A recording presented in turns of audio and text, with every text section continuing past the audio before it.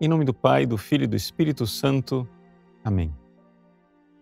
Meus queridos irmãos e irmãs, no Evangelho de hoje, Jesus e São Pedro caminham sobre as águas.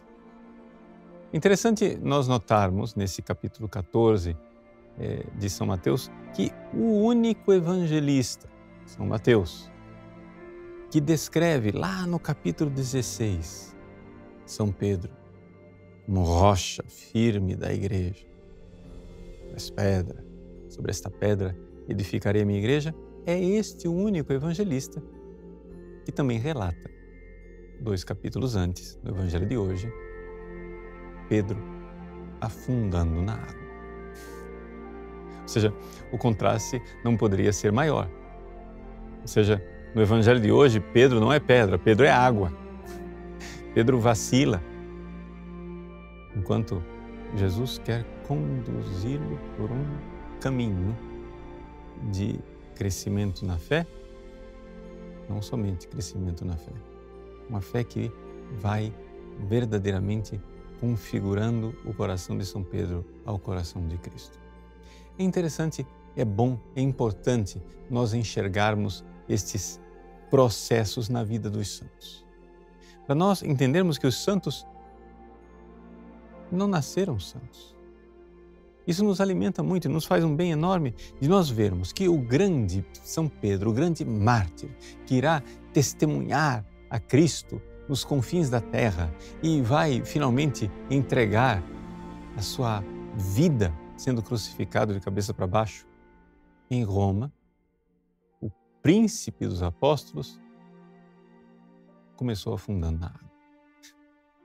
Vejam, Aqui nesse capítulo 14 é importante nós recordarmos o seguinte: São Pedro não é simplesmente um sujeitinho recém-convertido é, que se aventurou e disse: é, Senhor, se és tu, manda-me ir ao teu encontro caminhando sobre as águas. E pronto, foi.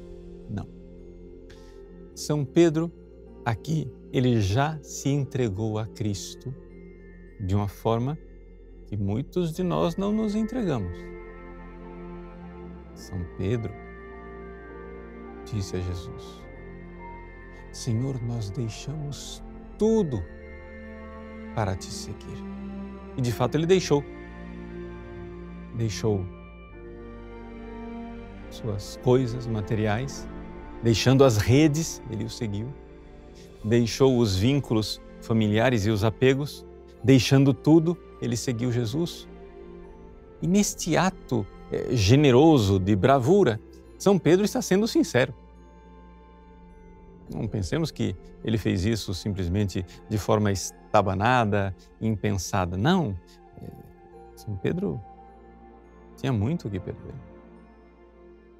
e entregou a Cristo. A sua entrega é sincera mas ela ainda não é profunda da forma como Jesus quer que ela seja. E isto é algo que nós podemos e devemos observar em nós mesmos.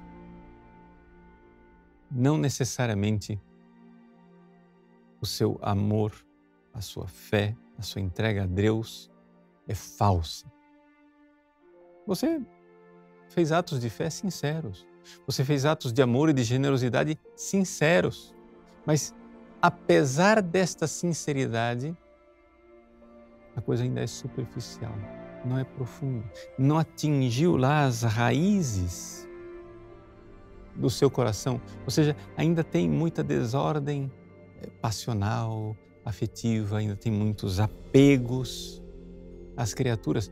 Aqui no caso, por exemplo, São Pedro se desapegou dos seus bens materiais, se desapegou da sua família, mas ele está mostrando aqui que não se desapegou de si mesmo.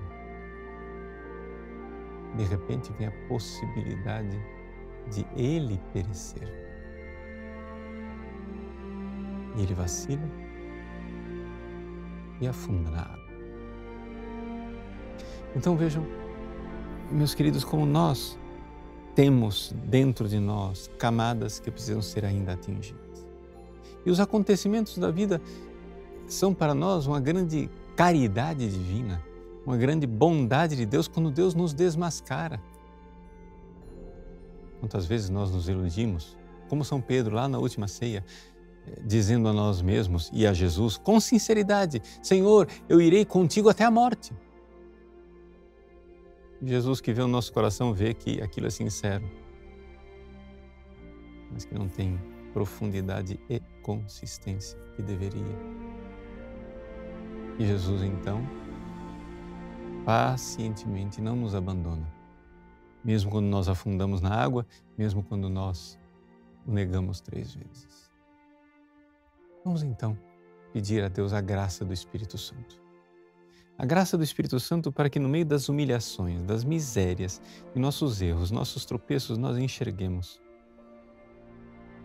Enxerguemos que, que bom que Deus está mostrando minhas desordens. Que bom que Deus está me humilhando. Que bom que Deus está dizendo com toda sinceridade, desculpa a expressão, na minha cara, como Jesus diz a São Pedro: homem fraco na fé, por que duvidaste? Que bom quando Deus nos humilha. Não desanime.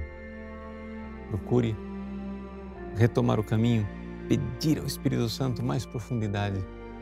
Se alegre quando Deus mostra a sua verdade dolorosa e miserável.